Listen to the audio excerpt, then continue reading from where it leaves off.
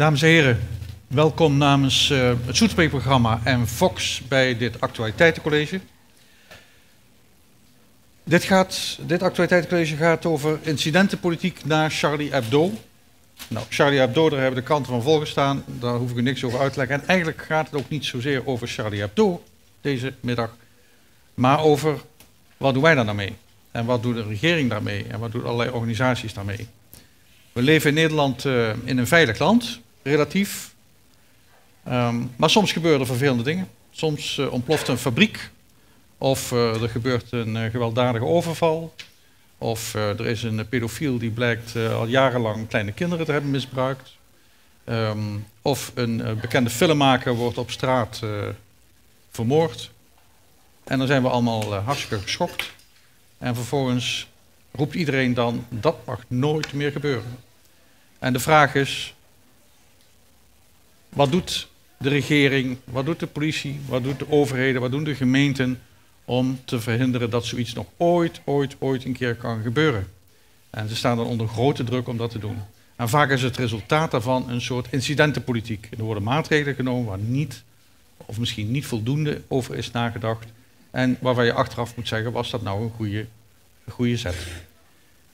Dat is een probleem dat zich bij veel situaties voordoet. En nu hebben we Charlie Hebdo gehad, we zijn er allemaal van geschrokken. En de vraag is ook, u zag de filmpjes net, wat gaat de regering nu doen om te voorkomen dat zoiets ooit, ooit, ooit in Nederland zal gebeuren? Degene die daar vandaag over voor u over gaat spreken is uh, Ira Helsloot. Hij is uh, hoogleraar besturen van veiligheid hier aan de faculteit Managementwetenschappen. Van huis uit wiskundige, als ik het goed heb.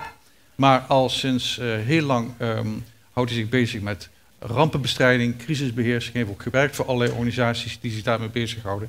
En um, dat is echt zijn pakje aan. Hij zal het hebben over het fenomeen incidentenpolitiek. Maar voordat ik hem het woord geef, traditiegetrouw, eerst het woord aan onze vaste columnist, Leon Wekke. En die laat zijn ironische blik schijnen op incidentenpolitiek. Hij stond wat onwennig met zijn pistoolmitrailleur in de aanslag. Ook het kogelwerend vest zat de wijkagent niet lekker. En voor de twee handgranaten aan zijn gordel was amper plaats. Om de tien minuten kwam een gepantserd voertuig van de marechaussee langs gereden, waarvan de chauffeur door zijn kijkspleet turend de politieman niet eens opmerkte. Bij het station leek de Tweede Wereldoorlog teruggekeerd. Massa's asielzoekers werden in vrachtwagens aangevoerd en vervolgens naar het vliegveld gereden om al daar onder begeleiding van gemaskerde agenten en militairen, als mede eveneens van een bivakmuts voorziene politiehonden te worden ingeladen. Moslims die zich niet wilden uitspreken voor vrijheid en democratie, werden zonder enige vorm van proces opgepakt. Zwijgzaamheid was juridisch gelijkgesteld met het verheerlijken van terrorisme. Van jihadisten, van jihadisme verdachte personen en familie en buren van, van jihadisme verdachte personen waren paspoort en Nederlandschap allang ingenomen. Een ieder die zich wenste te verplaatsen, het zij met een vliegtuig, bus, trein, eigen auto of fiets, diende van vertrek, route en bestemming in te toetsen in daartoe van overheidswegen verstrekte apparaatjes die tevens de vinger- en oogafdruk van de gebruiker doorgaven. De politie had eindelijk 100% toegang gekregen tot alle briefverkeer, telefoonverkeer en internetcontacten. Juichend had het volk de nieuwe maatregelen omarmd. Zulks onder de leus meer veiligheid voor minder vrijheid. Wat willen jullie? Meer of minder vrijheid? Minder, minder hadden ze allemaal geroepen. We zullen eraan werken, had Wilders beloofd. Toen schrok hij wakker. De werkelijkheid was nog ver van zijn droombeeld verwijderd. De meerderheid van het parlement wenste niet ondoordacht te handelen. Natuurlijk, meer samenwerking op inlichtingengebied. Niet bezuinigen op veiligheidsdiensten en goed uitkijken bij oversteken. Maar dat waren voorstellen die naar iedere tot de verbeelding sprekende aanslag gedaan werden. Hoe kon het zijn dat in andere ons omringende landen van veel meer incidentenpolitiek sprake was dan bij ons? Burgers waren hier toch ook bang, minstens bezorgd. Meer dan de helft verwachtte een aanslag in de toekomst. En toch was er geen stevig politiek-militair antwoord zoals in België, in Frankrijk en in andere landen. Aan de media kon het niet liggen. De grootste krant van Nederland, de Telegraaf, had de voorpagina en wel de hele voorpagina gebruikt om het volk te waarschuwen voor een aanstaande aanslag in Amsterdam. Of zou niet iedereen de Telegraaf geloven? Ook andere media, kranten, radiocommentatoren en nieuwsduiders op tv hadden meegedaan met de Ik ben Charlie-hype. Weliswaar was hier en daar melding gemaakt van de pershaters onder de meelopers in de Parijse parade, maar dat viel weg bij het nieuws waar het om ging. De islamitische aanslag op de vrijheid van meningsuiting. Geert pakte het handboek Incidentenpolitiek van de plank. Er stonden 25 politieke, psychologische en massacommunicatieve voorwaarden voor een geslaagde incidentenpolitiek opgezomd. Maar hij klapte het boekwerk moedeloos dicht en verzuchtte. Het was toch een gouden kans, die aanslag in Parijs. Zou het kabinet denken dat het slechts een incident was? Een ernstig incident, maar niet veel meer dan dat. Zouden de ministers het echt laten bij een beetje meer fouilleren, een paar camera's meer, handhaven van de identificatieplicht, een beetje meer het internetverkeer aftappen, huiszoekingsbevoegdheden wat verruimen, preventieve hechtenis ietsjes verlengen en wat data aan andere staten doorgeven? Dat zou toch symboolpolitiek zijn? Het leger moet aan de bak. Niet alsmaar vreemde volken beschermen. Nu geldt ook voor de krijgsmacht. Eigen volk eerst.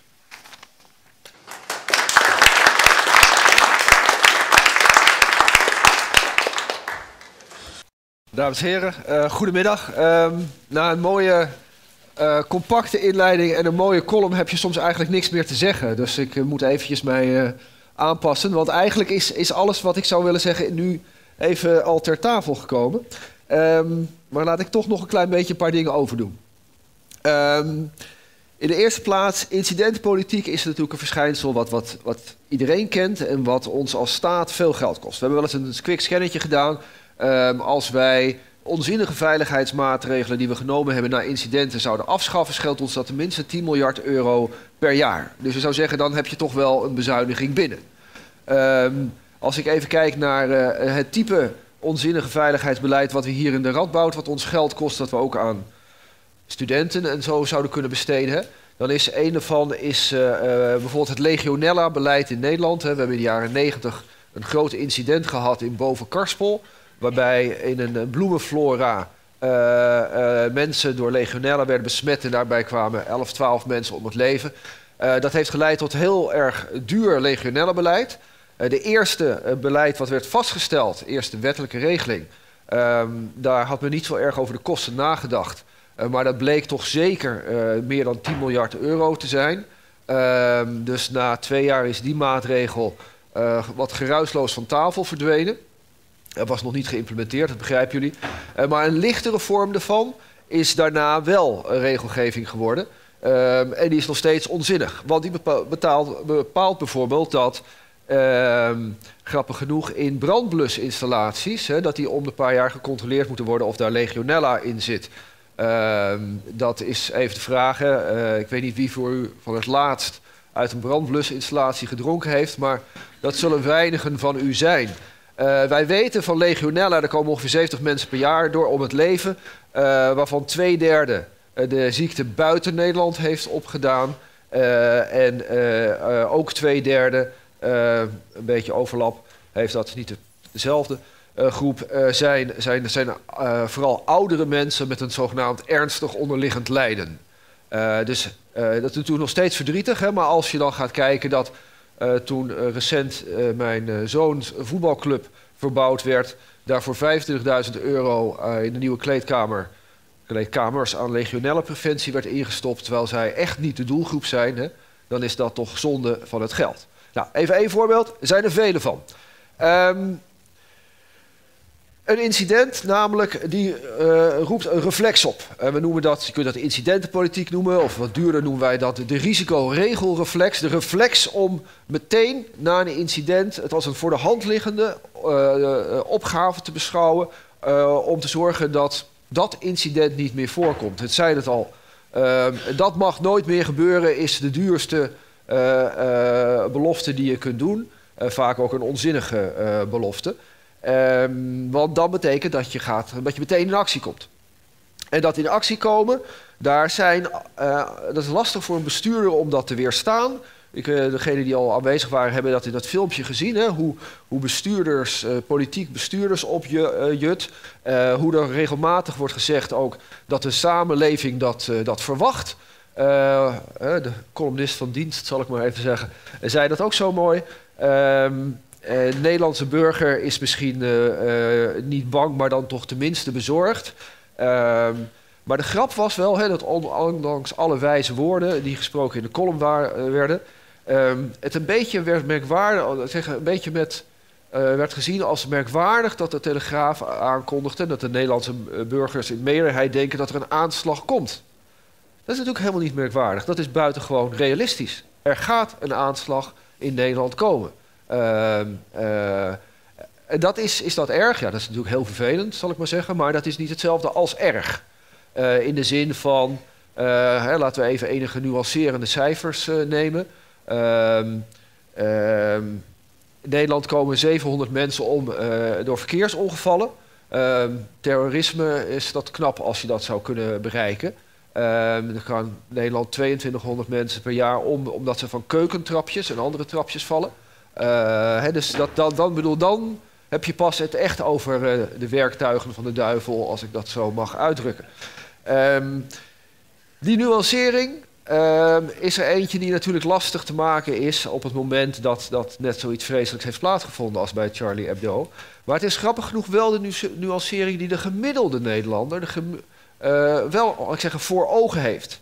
Um, dus ik weet niet of u die middag geluisterd heeft naar de radio-uitzending. Um, binnen een paar minuten was Charlie Hebdo was op, de, op de radio. En opvallend was dat er binnen een half uur was er een Parijse correspondent op Radio 1... Uh, eh, die erin slaagde om een paar gewone Parijzenaars voor de microfoon te krijgen. Um, en die, van die drie was reactie telkens... ja, dat is heel vervelend. Het is vreselijk wat er gebeurd is. maar we wisten dat dit kon gebeuren en we zeiden ja, dat hoort erbij. Nou, die drie heeft u daarna nooit meer teruggehoord. U heeft alleen maar gehoord over een geschokte Franse samenleving. In schoktoestand. dat zijn die nuchterheid van de burger, van de gewone burger, is er eentje die dan niet meer terugkomt in het debat tussen, nou, in de media en in het politieke debat. Um, Specifiek voor terrorisme zou je ook nog die nuance kunnen, kunnen maken. Hè? Als je, dat zijn mooie tabelletjes. Hè? Het, wereldwijde aantal slachtoffers van terrorisme is net zoals als vandaag weer naar voren kwam. Het aantal moorden, dat neemt alleen maar af. Uh, vorig jaar was geloof ik het 40ste jaar op rij waar het aantal moorden in Nederland uh, afgenomen is. En dat geldt ook zo'n beetje voor het aantal terroristische slachtoffers, als je dat breed kijkt. Hè? Want nu vinden we, de, is, ja, zoiets als Hebdo is vreselijk. Maar niet al te lang geleden hadden we natuurlijk... Uh, Noord-Ierland met de IRA, uh, Baskeland met de ETA, daar moest je ook niet even een grappig cartoon gaan zitten tekenen. Hè? dan als je daar je redactiejournaal had of je redactie had zitten. Um, dus, dus enige nu, wetenschappelijke nuance, ja wetenschappelijk, maar eigenlijk enige cijfernuance past, past sowieso. En dat helpt altijd om, om te na te denken of incidenten uh, uh, reactie vergen. Um, voor een bestuurder is dat lastig. Wij zagen dat hier, um, omdat een bestuurder leidt onder, onder allerlei aanjagende krachten voor die risicoregelreflex. En het vergt veel bestuurlijke moed om die te weerstaan. Het vergt ook bijvoorbeeld soms een zo'n dempende kracht, is bijvoorbeeld wat ik net gaf, wat simpele risicoanalyse, cijfers op een rij. Uh, maar die krijgen ze niet, niet, niet zomaar. Ik, ik, ik, loop er even een paar van die drijvende krachten langs. En in, in, het geval van Charlie Hebdo. U heeft het meteen gezien, hè? Zeilstra, Halbe Zeilstra, die meteen vraagt om beter bewapende agenten. Ehm, dat is bijzonder. Als je de, ik zeg, de wetenschappelijke collega's van uh, beluistert, ehm, dan hebben wij in Nederland voor ongeveer 2000 agenten hebben wij zware wapens en hebben die ook opgeleid. En die zetten we nooit in. want, en dat is wat mij betreft een terechte inschatting, uh, de korpsleiding is, laat ik zeggen, banger dat die agenten dat daar iets misgaat. Hè, dat ze per ongeluk het wapen afgaat. Dan, ja, dat is een terechte inschatting, denk ik. dan dat, dat je daar zinvol neerzet. Dus je herinnert zich misschien ook wel in de tijd dat wij de Amerikaanse ambassade bewaakten met, met, met panzerwagens, de, met zo'n mitrailleur erop en Kmar. was ook een van de eerste verstandige acties om te zorgen dat die jongens geen patronen op zak hadden. Ehm, hè, want dat, dat ja, ja, wat mij betreft verstandig, hè, maar dat hebben we niet in alle kranten opgeschreven. Ehm, toch, zo'n zo, politicus, zo, uh, in dit geval Zeilstra, die roept om maatregelen. En het is dan, um, en dat was hier wel mooi in dit debat, hè, dus dat, ik vond dat ook mooi wat de columnist dat benoemde, dat dit een beetje een uniek debat was, een beetje Nederlands debat beetje lijkt op Noorwegen, kom ik nog even op terug, waarbij we uiteindelijk heel weinig hebben gedaan. Grappig genoeg hebben al die uh, onze politieke voormannen uh, hadden iets, moest iets gebeuren, maar ze hebben in dit debat elkaar, je zou bijna denken dat het afgesproken werk was, elkaar vakkundig gesaboteerd. Dus dan riep Halbe Zijlstra riep om iets als meer wapens en dan, nou u hoorde dat, en dan zeiden anderen, die zeiden, ja, wij moeten niet over de professionaliteit gaan. Hè? Dat mogen ze zelf uh, uitzoeken. Um, um, nou ja, omgekeerd, als dan uh, bijvoorbeeld PvdA om, om meer soft beleid vroeg, dan werd dat weer gecounterd door dat ik zeggen, iets harde rechtse partijen. Dus uiteindelijk kon de regering, en dat is een mooi resultaat wat mij betreft, aan het eind van het debat concluderen dat ze eigenlijk niks gingen doen ja, een tandje erbij. Hè? Uh, zij opstelten, maar dat zegt hij elke dag. Uh, dus dat, dat, er wordt al heel hard gewerkt, zal ik maar zeggen. Um, een van de dingen, ik zei het net al, hè, die wel iedereen van die, van die politici gebruikt om de druk te verhogen, is, en dat is een belangrijke aandrijvende kracht, aanjagende kracht, is dus die gedachte dat de maatschappij er niet mee om kan gaan. En dat zie je terug in een kenmerkende uitspraak als dat Charlie Hebdo een aanslag is op de democratie. Um, nou, daar is dus maar even heel erg sterk de vraag, ja, even de definiëring, hè? Uh, maar of de democratie werkelijk geraakt wordt door een aanslag, is, is nou, ik zeggen, daar hebben we wetenschappelijk niet veel voorbeelden van. Um, uh, maar het zegt meer iets dat wij bang zijn dat de samenleving, hè, maatschappelijke onrust is dan de mooie kreet die je er altijd voor hoort dat er maatschappelijke onrust zal optreden. Feitelijk hebben wij nog nooit maatschappelijke onrust uh, meegemaakt. Maar er is, bestaat wel die angst voor maatschappelijke onrust. Er is natuurlijk wel altijd maatschappelijke commotie. Mensen praten er met elkaar over. Maar als mensen erover praten en er staat iets over in de media, is dat iets anders dan dat de hele samenleving in een soort negatieve beweging komt. Een, een derde aanjagende kracht. De eerste was dus politieke daadkracht. Hè. Ik wil iets laten zien. De tweede burgers kunnen niet omgaan met risico's. Een derde is um, de, uh, de, uh, laat ik zeggen, de, het gedachte dat de crisis een kans is. Hè? Dat crisis een window of opportunity is. Um, dat zie je dan bijvoorbeeld in, de aan, in het aanjagende gepruttel, zou ik haast zeggen, van de politiebonden. Die meteen zeggen er moeten 2000 agenten meer komen. Dat, we noemen dat ook wel veiligheid als camouflage. Er zitten heel andere belangen achter, althans zo kun je veronderstellen. Um, en, soms zegt men dat ook wel hardop. Um, dan dan, dan nou ja, ik zeg het incident zelf. Hè? Of als je een, generaal, weliswaar buitendienst van de Kamar, hoort zeggen. Um, dat eh, de politie beter niet beter bewapend kan worden, want die kunnen beter in de wijk blijven, zei hij, wat mij betreft. Terecht, maar voegt hij dat toe, je kunt beter meer KMAR inzetten. Hè, dat, dat, uh, nou, dat voor een dienst die een beetje uh, natuurlijk al langjarig uh, bedreigd wordt in haar bestaan, kun je je voorstellen dat dit weer een, nou, kleine gelegenheid biedt. Dit is iets wat je rondom veel incidenten ziet, dat er um, wat dat betreft ook eenzijdig advies wordt gegeven. je vraagt aan ehm, ik heb van Noordaan als burgemeester van Tilburg de, de, term blauwe boskebouter overgenomen. Je vraagt aan de blauwe boskebouter deskundige wat hij van blauwe boskebouters vindt, daar is hij voor. Um, en dat is lastig als jij een bosbeheerder bent. Dan moet je voor een heel bos moet je zorgen. Er zitten allemaal bomen, planten, uh, beestjes en zo in. En blauwe boskebouters. En dan heb je een probleem en dan vraag je dan aan de blauwe boskebouter deskundige een advies. Dan weet je het wel. Um, want um, bijna, wil ik zeggen, stuitend uh, op het punt uh, was wat, wat onze columnist net zei. de Raad voor Hoofdcommissarissen, dus de, de, de politietop, heeft uh, geadviseerd eerder uh, om toe te staan dat we politie de mogelijkheid krijgt om de bewegingen van alle Nederlanders te volgen. Dat is een eerder wetgevingstrajectje geweest, ook incidentenpolitiek na, na de aanslag in Londen. Toen is er een, een wetsvoorstel ehm, bedacht de wet bestuurlijke maatregelen nationale veiligheid. Wie kan er tegen nationale veiligheid zijn? Dat begrijpen jullie. Maar daarin werd politie werd buitengewoon veel bevoegdheden toebedicht. Uh, maar nog net niet de bevoegdheid dat ze van allemaal, iedereen van ons, zonder enige ehm, last, et cetera, mochten nagaan waar we naartoe gingen. Maar dat, dus dat wetsvoorstel ging de politietop niet, te ver, niet ver genoeg. Zij wilde graag een digitale slotgracht. Hè. Bij dit soort uh, incidenten hoort ook altijd de mooie one-liners. Um, en zij wilde dus graag de mogelijkheid hebben om wel ons allemaal te mogen volgen op elk willekeurig moment. Um, uiteindelijk, uh, dit wetsvoorstel um, heeft vijf jaar bij de Tweede Kamer gelegen en is in, uh, van 2006 ingediend, is in 2011 toch uh, vrij geruisloos uiteindelijk teruggetrokken door de regering. Uh, omdat ze toen uiteindelijk zagen, nou ja, eigenlijk de voorgestelde maatregelen kunnen we nu achteraf niet hard maken dat die enig effect hebben.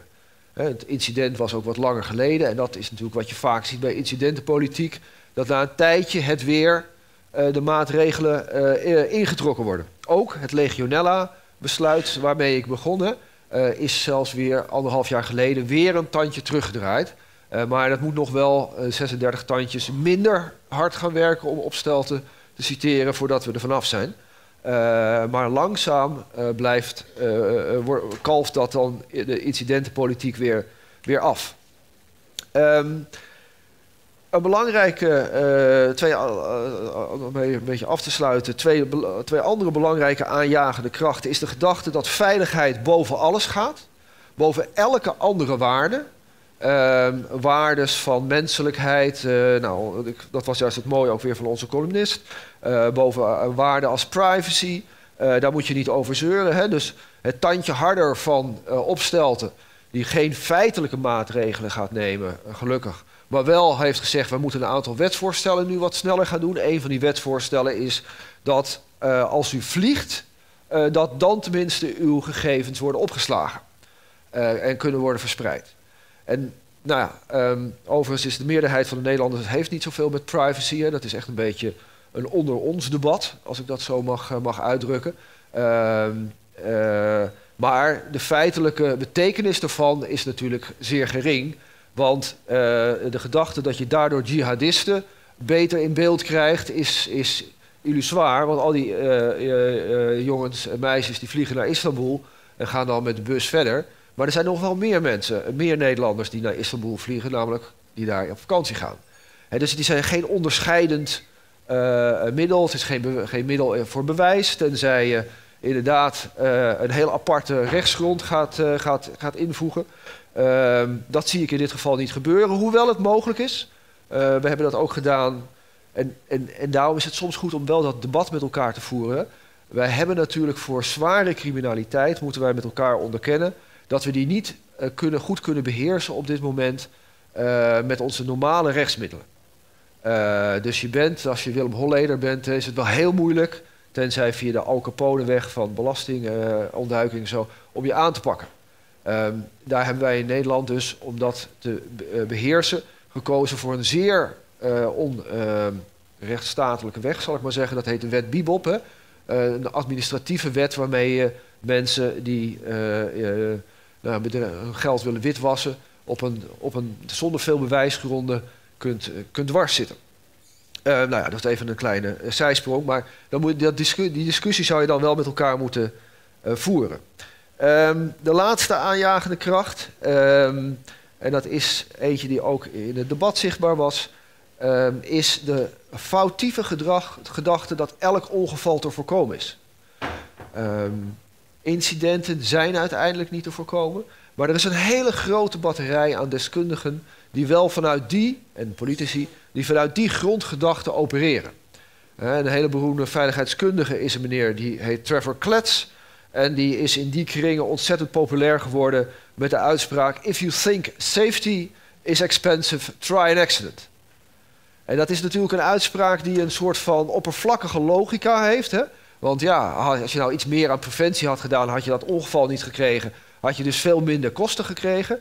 Dat is waarmee veiligheidskundigen uh, de wereld rondgaan. Uh, of het nou in de Radboud Universiteit is of elders.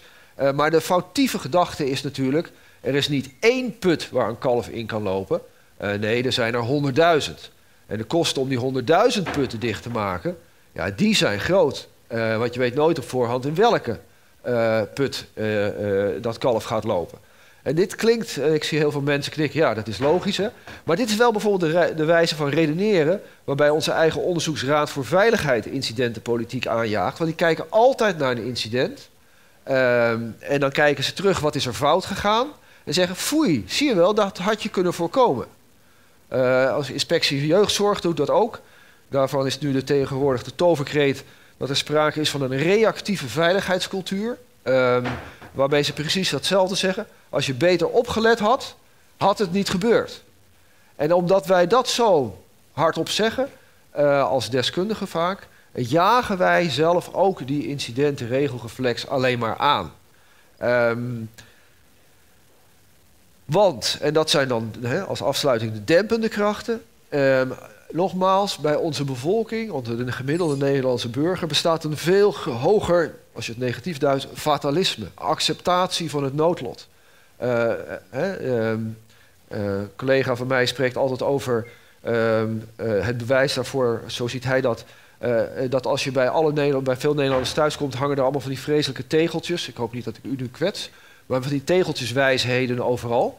Uh, zoals van het programma des levens krijgt niemand... Nee, van het concert des levens krijgt niemand een programma. Uh, of een programma. Ik zie mensen nu uh, kijken. Dat is niet de bedoeling. Ehm, maar al dit soort uitspraken, hè, dat is een soort van grondgedachte in onze samenleving. Noodlot hoort erbij. En omdat we dat noodlot blijkbaar niet meer goed accepteren in die arena, politiek, mediale arena, ontstaat de hele tijd die incidentenpolitiek. Kan het anders? Ja. Uh, uh, wat ik zei, eigenlijk mogen we nog niet eens ontevreden zijn hoe het debat in Nederland is gelopen. Uh, u zei het ook al. Uh, uiteindelijk ehm, is dit, bijvoorbeeld het debat in de Kamer geëindigd met slechts een tandje erbij. Ehm, en zonder veel concrete maatregelen. maar het kan nog beter. En dan neem ik u even mee naar de aanslag die André Breivik uh, twee, drie jaar geleden pleegde in Noorwegen. Waarbij uiteindelijk de regering daar expliciet heeft gezegd: wij gaan niets doen. Wij staan voor onze democratische samenleving en wij gaan niets doen. Wij gaan niets beter beveiligen. En grappig genoeg is dat. Uh, uh, nou ja, de samenleving heeft het daar gepikt, hè, als je dat zo mag uitdrukken. Um, maar grappig genoeg is daar dus wel, als je in de literatuur kijkt, zijn heel veel artikelen die aan dat uh, idee morrelen. Er zijn heel veel artikelen in de wetenschappelijke literatuur die aangeven als een eerder memo was opgevolgd. Hè, uh, dat is bijvoorbeeld ooit eens een memo door de Veiligheidsdienst geschreven. Uh, dat, dat je te dicht met de auto bij zo'n gebouw kon, zo komen. Dus die straat had moeten worden afgezet en bewaakt worden. Al dat soort memo's komen nu naar boven. en worden gezegd: zie je, ze hebben niet geluisterd naar ons dus de blauwe boskebouterdeskundigen halen achteraf hun gram daarmee. Uh, en dat is heel erg lastig voor een bestuurder om daarmee om te gaan. He, er is altijd een memo uh, geschreven door een deskundige, door een medewerker, uh, waarbij het risico als het ware naar boven is, is weggeduwd. En daar zie ik voor ons allemaal een hele belangrijke opgave.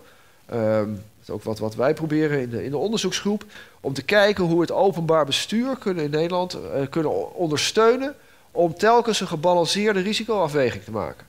Uh, eentje die zoveel mogelijk gebaseerd is op feiten. Vaak zijn er natuurlijk geen feiten, maar zelfs dan, om daar eerlijk over te zijn uh, en een afweging te maken waar ook andere waarden dan veiligheid een plaats in krijgen. Um, en um, nou ja, een andere collega van mij, um, die zegt altijd, ja, jij noemt jezelf hoogleraar bestuur van veiligheid, maar jij bent die naam niet waard, want je bent eigenlijk een hoogleraar uh, van onveiligheid. Hè? Dat is een wat meer blauwe dos, bosgebouwte collega van mij. Um, maar al dat geld, hè, die 10 miljard die wij per jaar nu besteden aan onzinnig veiligheidsbeleid, daar zouden wij goed besteed zoveel meer mensenlevens mee kunnen redden. Of het nou is via een, een irritante maatregel als meer verkeersdrempels, hè, waarvan je kunt gewoon uitrekenen hoeveel dat is. Of het is in een betere jeugdzorg, waarmee wij uh, uh, niet gericht op het voorkomen van incidenten, maar wel op een, op bepaald uh, kwalitatief betere jeugdzorg, waarbij wij meer kinderen nou, gelukkig kunnen maken, kunnen laten, kunnen laten leven. Um, um, hè, er zijn tientallen mogelijkheden om dat geld te besteden, waardoor onze samenleving echt veiliger wordt. Um, en dat kan alleen maar als wij allemaal uiteindelijk ons beheersen om op een mini-postzegel, uh, mini-risico, daar extra veiligheidsmaatregelen maar te blijven opjagen. Dank u wel.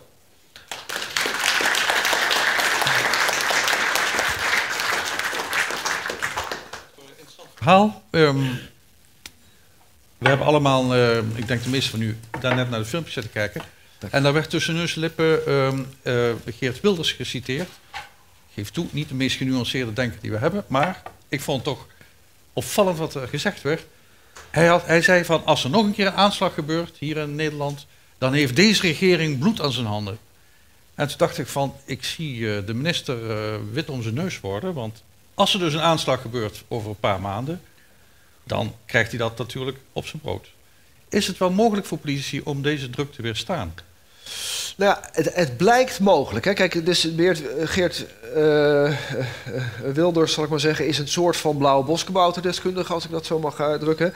Hij, uh, althans in de zin dat, dat deze claim van hem, of deze, deze, dit statement, niet erger is dan heel veel van de memo's die wij als ambtenaren, zeg maar even, de lijn insturen, of deskundigen de lijn insturen. Ja, um, genoeg collega's, genoeg ambtelijke collega's ook, uh, die, die een memootje naar boven sturen. Dit is het risico. Als het misgaat, bent u verantwoordelijk. Um, dus ja, die druk is enorm groot. En dat Wilders het publiek doet, maakt het misschien nog iets groter, hoewel ik dat niet zeker weet. En dat maakt ook dat je, dat je ziet dat alleen een bepaald kaliber bestuurders dat kan doorstaan. Kan weerstaan. En een van mijn, eh, mijn, mijn privéhelden, als ik dat zo mag uitdrukken, uh, overigens, opstelten kan het ook wel aardig, omdat hij altijd dat tandje erbij doet. Hè? Dus dat is een ander soort van uh, weerstaan. Maar een van de uh, bestuur, bestuurlijke helden is Piet Hein Donner. Die toen, dat herinneren jullie misschien nog wel, het TBS, er waren een paar incidenten met TBS'ers. die die vreselijke dingen deden. en dus was de oproep, incidentenpolitiek, het TBS-systeem moet worden aangescherpt. Um, en hij is naar de Kamer gegaan. Het was een brede, hè, het was een hele Kamer zei dat. Hè. We dachten allemaal, uh, nu moeten we in actie komen. De samenleving tolereert dat niet. Grote koppen in de Telegraaf. Um, en hij stond daar in zijn eentje tegenover alle partijen, ook zijn eigen partij, en zei: Ik ga geen millimeter veranderen aan het TBS-stelsel. Tenzij jullie mij vertellen welke andere negatieve gevolgen daarvan jullie acceptabel vinden. En dat kon de Kamer natuurlijk helemaal niet. Uh, want het TBS-stelsel is natuurlijk ja, geëvolueerd over tientallen jaren. Dat is het, zeggen, uh, professioneel gezien het beste wat we kunnen doen hè, om deze, deze mensen enerzijds nou ja, uiteindelijk toch weer terug te brengen in de samenleving. Maar dat vergt bestuurlijke moed. Heel veel bestuurlijke moed. Uh, en, en bij Donner was dus de Kamer, kon er niks tegen zeggen, maar was toch, laat ik zeggen, not amused. En een halfjaartje later was de Schiphol cellenbrand en dat was dan wel het moment om ook meteen een eind te maken aan, aan Donner als minister. Um, dus ja, het kan, maar het is, die druk is groot. En ik had ook de indruk van um, Opstelten heeft weliswaar niet toegezegd dat hij extra dingen gaat doen. Maar wat hij wel heeft geprobeerd, is om dingen die hij al op de agenda had staan, om die naar aanleiding hiervan te verstellen. Ik Ja. noem één, de, de registratie van al onze vakantievluchten. Ja. Want die bent allemaal verdacht. Ehm, dat eh, had hij al lang op programma staan. Dat was Ja. al een jaar of twee in de pijplijn. Ja. En nu is een gelegen. Dus de politici kunnen ook gebruik maken van incidentenpolitiek. Zeker, zeker. De window of opportunity. de- Als, als je politicus bent, dan, dan, eh, maar ook topambtenaar, dan is een van de eerste dingen die je op de cursus krijgt. Hoe word ik een succesvol topambtenaar? Is elke crisis is een kans. Hè, op het boeggolf van een crisis komen heel veel beleidsinitiatieven mee. Vaak gelukkig zoveel dat uiteindelijk die hele boeggolf eh, verstopt. Ehm, eh, maar ja, ehm, eh, dat probeert hij hier ook. Ehm, ik denk bij Opstelten altijd dat hij uiteindelijk, maar dat is een aanname hoor, dat hij het eigenlijk zelf allemaal niet zo serieus neemt. Dus, dus dat, dat, eh, dat ook dit soort, laat ik zeggen, ik bedoel, ik ben er, ik, ik, nogmaals, ik zie niet de betekenis ervan, hè, van, van, de, van die registratieplicht, maar het is niet een hele dure maatregel. Dus het strijdt met waarden als privacy en al dat soort dingen.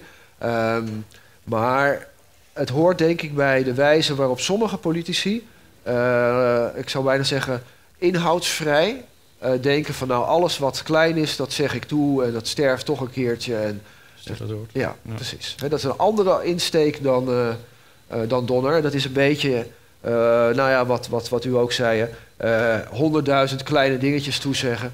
Ehm, ehm, nou ja, weet je, het kabinetstandpunt naar de vuurwerkramp en naar de cafébrand Volendam. In Volendam hadden allebei meer dan 100 actiepunten. Dat hebben wij vijf jaar daarna nog eens even gekeken. Hoeveel er nou in beweging waren gekomen. Nou, daarvan bleek gewoon in beide gevallen 90% heeft nooit iemand meer iets gehoord nadat die eerste aankondiging. Dus dat is dan wel de andere kant van incidentenpolitiek. eh, dat, dat gelukkig heel veel sterft. Maar niet alles. Maar niet alles. Nee, kijk naar Legionella, kijk naar, naar BSE. Hè, ook zo'n mooi voorbeeld. Op Europees verband is dat ongeveer tussen de 1 en 2 miljard euro... dat we per jaar besteden aan het testen van koeien of ze BSE hebben. BSE, weet u, de gekke koeienziekte is ontstaan omdat wij dode koeien aan, aan andere koeien gaven. Hè? Ehm, en dan, nou een hele zeldzame, maar natuurlijke ziekte... die verspreidde zich daardoor, die, dat, dat, dat, dat Creutzfeldt-Jacob. Ehm, dus toen we dat ontdekt hadden, dat wisten we eerst niet wat het was, toen gingen we al die koeien testen. Maar toen we dat ontdekt hadden, hebben we dit verboden. En sindsdien is er geen koe meer met BSE. Maar wij testen elke koe in Europa nog steeds als die geslacht wordt op BSE. En het zal u niet verbazen dat nou, de uitkomst van die test eh, eh, bekend is. Maar het terugdraaien daarvan is bijna onmogelijk. Want je staat erbij, je zegt het tegen de politicus. Ja, dan wordt het wel onveiliger door, hè? Ja, maar niet echt. Ja, nou ja, dan laat het dan toch maar bestaan. Hè? Dus het terugdraaien van, als het niet stiekem gestorven is, hè, wat, wat, wat doorgaat, krijg je bijna niet teruggedraaid. Ja. Want dan krijgt iedereen een paniekgevoel. Ja, dan, in ieder geval, ja, dan denken bestuurders dat Ja. iedereen een paniekgevoel krijgt. Dames en heren, wie heeft er een vraag over incidentenpolitiek? Ja, mevrouw. Eh, een kleine vraag. Ehm, incidentenpolitiek in het algemeen geldt ehm, voor groeperingen met ideologische motieven. Ik zou graag een onderscheid willen maken voor groeperingen met de ideologische motieven en andersoortige groeperingen. Mijn vraag is, als je denkt aan de punt en de bezetting daarvan, ehm, hoe, als je dat nou tegen het licht van wat u nu weet, hoe kijkt u daar tegenaan? Ja, de punt was, was, was in zekere zin een klassiek eh, eh, terrorisme. In de zin omdat je, dat je aandacht wil krijgen en, en wil zorgen dat, ehm, eh, eh, dat, je, dat jouw beleidsdoelen dan door een andere regering verwezenlijkt worden of zoiets. Hè. Misschien nog even voor de punt, dat is de de bezetting van een trein Dat door was het Molukse treinen, precies. Hè? De Molukse, daar hebben we het toch over. Hè? De Molukse, dat ik zeg, het Molukse terrorisme van de jaren 70 is dat. Ehm, eh, overigens hebben die toen heel veel eh, op punten hun, hun gelijk gehaald. Hè? Daar zitten we nog steeds mee met, met, in zekere zin. hè, Met, met wijken die heel erg, ehm, wat we normaal niet accepteren, maar dan daar weer juist wel, die heel erg eenzijdig bewoond worden.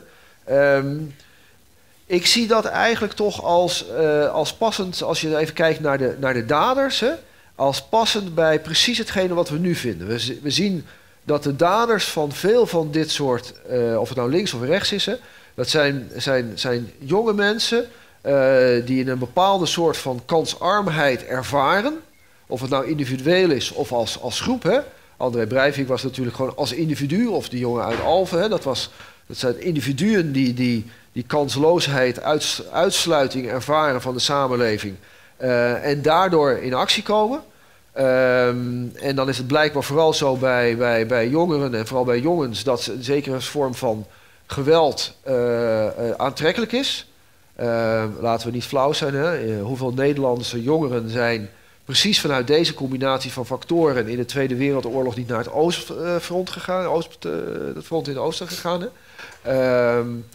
Uh, dus ik, ik zie dat vooral als een soort van constante in, in terrorisme. Dat, die, dat, de doel, dat de, de, groep van daders precies deze kenmerken vertoont. En dat had het toen ook. Ja, vragen. Dan wil ik nog een beetje algemene vraag stellen. Um, is het zo dat uh, incidentenpolitiek een makke is van democratieën? Want we hebben hier natuurlijk altijd een publiek debat. Zo gauw als er iets gebeurt, dan vallen media over elkaar heen en mensen op straat hebben wat te vertellen. En iedereen kan ook zeggen wat hij wil. En dan wordt niet. En de regering zegt wat terug en politie kunnen zeggen. Zou dat in, in een minder um, open maatschappij niet minder het geval zijn? Is daar iets over bekend? Um, nou, volgens mij is daar niet echt uh, onderzoek naar gedaan. Um, mijn gut feeling zou zeggen dat het nog wel meevalt. in de zin van dat er heel veel onderscheid is omdat ook in, uh, ik doe wel dingen voor de Wereldbank in, in, in, uh, in landen met iets minder democratische structuur. Um, en wat je daar ziet is dat ook de, de, de, de, meer dictatoriale bewinden toch een soort van gevoel he hebben of denken te hebben voor wat de gewone man vindt. Dus ook daar vind je, als je in de regelgeving kijkt, zie je heel erg dat een incidenten hebben geleid tot aanscherping van uh, van, van, van beleid of van, van wetgeving. Uh, uh, en ik denk vanuit datzelfde van ja, als er iets gebeurt, moeten we toch wat. Uh, maar we, ik, ik moet als wetenschapper zeggen, ik ken geen echt goede vergelijkende studies. Hè, want dat zou je inderdaad een keertje uit willen zoeken. Ja. Ehm, maar dat. Ehm, nee, dat, dat weet ik niet. Nee. Nee. Denk je dat we. Er zit natuurlijk een soort uh, psychologische logica hè, in, in incidentenpolitiek. Ik bedoel, je bent geschokt, emotioneel. Ja. En dan ja. Heeft iedereen zoiets van: nou moet er wat gebeuren. Ja. Um, denk je dat we er ooit vanaf komen? Um, nou ja, wat ik zei, we hopen dat we met allerlei kleine uh, hulpmiddelen dat we, uh, dat we het openbaar bestuur helpen om er vanaf te komen. Um, laat ik één klein dingetje noemen, omdat ik dat zelf zo ontzettend leuk vind. Uh, incidenten in de jeugdzorg hebben geleid, toen werden voogden, dus in Nederland Savannah was dat, in Engeland Baby Piet, hebben geleid tot de vervolging van de gezinsvoogden. Um, en dat heeft als reactie geleid dat die groep, beroepsgroep heel erg defensief werd. En dus heel snel kinderen uit huis ging plaatsen. Um, om dat terug te draaien, dat bleek heel erg lastig. Uh, maar uh, wat ze in Engeland hebben gedaan, uh, is dat ze voor al dit soort beslissingen, die worden niet meer genomen door professionals, maar door een groepje waarin twee gewone burgers zitten. niet opgeleide, maar gewone burgers. En twee professionals. En het blijkt dat, uh, dat zo'n groepje van gewoon, waar gewone burgers in zitten. Uh, veel beter in staat is om dan weer risico's te nemen, zal ik maar zeggen. En afgewogen veiligheidsbeslissing te nemen. Uh, en dat is een, soort mechanisme wat. Ik ga niet al meer voorbeelden noemen, maar daar geven we een college over. Ehm, wat we op veel plekken zien, dat als je op meer dialoog met de samenleving hebt, dat je beter kunt ontsnappen als openbaar bestuur aan die risico-. Omdat de eerste reactie is overigens van elke burger, er moet iets gebeuren, hè? maar die eerste reactie is de reactie van één, twee dagen. dat, is, dat, dat, dat, dat, hoort bij ons mensen. Hè. Kahneman heeft het over de twee systemen, thinking fast en thinking slow. Nou, dat, dat, we, eh, na twee dagen is dat over. Dus als je twee dagen uh, ik zeg, het uitzinkt, hè, dan ben je, ben je, de maatschappelijke druk kwijt. Kun je dan ook, als je nog wat preciezer zeggen, dat incidentenpolitiek eigenlijk het resultaat is van een soort mm, gesloten cirkel tussen media, politiek en regering? Ja, ja, ja. Zekers, zekers, zekers. Hè. Dus de, de, de kloof wat dat betreft hè, is, is er eentje, uh, nou, we gelukkig, of niet gelukkig, helaas heel veel andere wetenschappers al uitgezocht. Ehm, dat de, uh, onze, onze regering en Tweede Kamer is vooral gericht op de nationale media. Uh, en die weer op de, uh, andersom. En wat de gewone burger daarvan vindt, is, is, is heel slecht bekend. Hè. Er is weinig wetenschappelijk onderzoek ook naar gedaan. Uh, maar we weten bijvoorbeeld wel dat de gemiddelde telegraaflezer helemaal niet gelooft wat er in de telegraaf staat. Uh, maar als het in het, dat, die lezen het omdat ze het leuk vinden. maar als wij het dan zeg maar even lezen, dan denken we dat dat iets is wat de gewone Nederlander vindt. en dus moeten we in actie komen. Al die dingen die we nou zo als voorbeelden voorbij hebben zien komen, hebben allemaal iets te maken met veiligheid. En ik denk ook met, iets, met het gevoel wat mensen van veiligheid hebben. Ja. Is er iets over bekend wat wij, we zitten hier allemaal als burgers bij elkaar, wat wij nou een veilige situatie vinden? Um, ja, dat is er wel. Wij vinden vooral een veilige situatie grappig genoeg als wij, de, uh, als wij denken dat we er zelf controle over hebben. Dus wij vinden het ontzettend veilig als we gaan bungeejumpen, omdat we dat zelf besluiten. Dus op het moment dat, eh, dat, dat iemand anders iets voor ons besluit, dan ontstaat er een soort automatisme bij ons dat we ons gaan afvragen van nou, is dat wel zo veilig? Um, en een tweede uh, grappige verschijnsel is dat het moment dat uh, iemand tegen jou gaat zeggen het is hier veilig, dat je dan denkt dat zal ik nog wel eens zien. Dus het grootste, dat is het grootste gevaar van risicocommunicatie in, de, ieder geval de wijze waarop de Nederlandse overheid dat doet. Het is altijd dat ze tegen de samenleving zegt: het is hier uh, heus wel veilig. Hè? Dat zeggen we tegen Groningers. En die Groningers denken: nou, dat zullen we wel eens zien. Terwijl als je tegen die Groningers zegt: ja, je huis kan instorten. Uh, maar die, dat, dat, kan gebeuren. Dan zeggen die Groningers: ja, dat weten we maar die kans is klein. Uh, dus er zitten dat, dat de twee belangrijkste dingen om, om, laat zeggen, die, die, het gevoel van veiligheid bij een samenleving te krijgen, is keuzevrijheid en niet zeggen dat er een klein risico is. Eerder kun je beter zeggen, en we zeggen altijd, je moet niet dat over risico hebben, maar je moet het gevaar benoemen. Want iedereen weet dat dat gevaar er is. Uh, iedereen weet, er kan morgen een meteoriet naar beneden komen, dat is een hele aarde plat. Uh, zijn we daar nou uh, nou, ja. En dat, valt, dat kunnen we allemaal nog wel zo direct toch nog een kop koffie pakken en zo, hè, toch? Ehm, en dat is het mechanisme wat, dus beter het gevaar benoemen dan de kleine kans. Okay. Ik wil nog even een laatste gelegenheid geven voor vragen. Daar is nog een vraag. Ja, ik vond het uh, jammer. Als je even wacht op de microfoon. Wat ik jammer vond, en ik kwam er in, op het laatste nog even op terug, is dat u de rol van de media in uw praatje eigenlijk uh, amper noemde. Omdat, ja, inderdaad, media, je hoort ook voortdurend te zeggen, alleen slecht nieuws is nieuws. Dus dat, en op een manier wordt die hele, ja, die Charlie Hebdo toestand bijvoorbeeld, dat wordt zo doorgedraaid, dagenlang. Ja. En ik ben ontzettend geïnteresseerd in de wereld en uh, ook onder meer dit onderwerp. Maar op een gegeven moment denk ik, ik wil het gewoon niet meer zien, want ik weet het toch al lang. En iedere keer diezelfde mening, diezelfde deskundelogen, uh, ja, alleen maar die, dat, dat, dat doordraaien van diezelfde gedachten. En ja, u heeft vast de oplossing ook niet, maar wat zijn uw ideeën daarover? Nee, nou ja, laat ik daar één ding over zeggen. Um, um, ik zeg dat even wat, uh, wat horkig, hè, maar zoals wij hier met elkaar zitten, hebben wij een, uh, een belangrijke sociale afwijking. Uh, wij lezen namelijk de krant en denken dat er, wat erin staat ook op waarheid berust. 80% van de Nederlanders hè, leest geen krant, kijkt niet naar het journaal. Dat is altijd wel bijzonder als je daarover nadenkt. Hè. Ehm, maar wij doen dat wel. En als er iets staat in de krant of het journaal waar u verstand van heeft, dan denkt u altijd, klopt niet. Toch? Uh, maar u en ik ook, hè? Wij lezen wel de zaterdagbijlagen, geschreven door diezelfde journalisten, vol met achtergrondverhalen over Charlie Hebdo, over de financiële crisis, over Oekraïne, noem het maar op. Um, en dat hebben we de neiging om dat wel te geloven. Um, dus dat is een heel bijzonder uh, verschijnsel, maar dat speelt vooral dus, ik zeg ik maar even, bij ons soort mensen. Hè? Dat is een hele foute uitspraak natuurlijk. Uh, maar daarvan moeten wij ons wel bewust zijn dat politiek mediale complex beïnvloedt ons veel meer dan het heel veel andere Nederlanders uh, beïnvloedt. Wij hebben um, als, als soort afsluiting, in de, in de Bommelerwaard, dat weten we misschien, daar was gedurende drie dagen de stroom uitgevallen in 2008. Toen hebben wij publieksonderzoek gedaan, um, waar onder andere de vraag was hoe mensen hun informatie kregen. Daar bleek maar 10% van de mensen bleek informatie te krijgen via officiële media, journalen, et cetera. Het grootste gedeelte van de mensen had het van buren en zo gehoord. Eh, Maar fascinerend was toch ook dat 15% van, de, eh, van die mensen in dat gebied...